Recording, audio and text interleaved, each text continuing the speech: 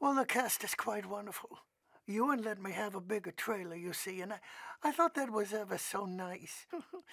because, well, oh, his was bigger? Bother.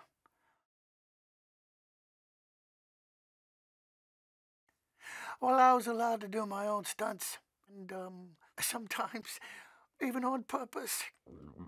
Oh, before we keep going, um, you wouldn't happen to have any um, honey, would you?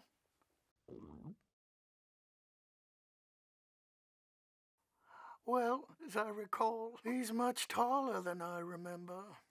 And, um, I've probably grown too. I wonder if he'll even recognize me.